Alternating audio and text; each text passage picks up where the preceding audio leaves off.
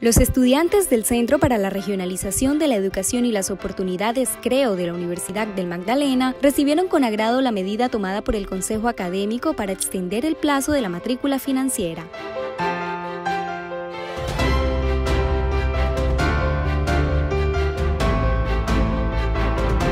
Mis ingresos desde que empezó esto han bajado porque yo no trabajo ya el tiempo completo. Hay mucha dificultad económica y de pronto, así como yo, hay muchas personas que de pronto no cuentan con el mismo recurso económico o no, tienen algo estable para poder seguir pagando la universidad. Mi papá es el que me ayuda en ese caso, trabaja de noche y ahora básicamente la noche todo el mundo tiene que estar encerrado, entonces él no está trabajando ahora mismo y sí se le dificulta un poco para darme este pago de este para nadie es desconocido ¿no? lo que está sucediendo en el país a nivel mundial. La economía de todos los países, la gran mayoría de los países, eh, se ha venido abajo.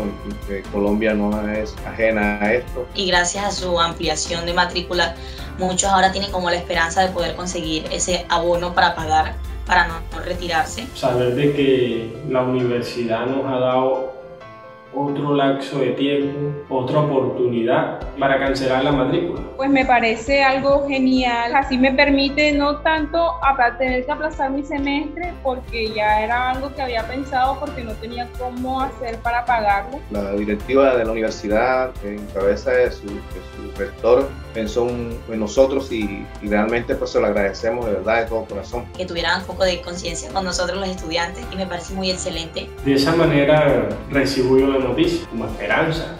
La resolución número 15 del CREO y la número 55 de la Vicerrectoría Académica definen el viernes 30 de abril como la nueva fecha en que los educandos de los programas técnicos, tecnológicos y profesionales de las modalidades a distancia y virtual podrán legalizar sus matrículas.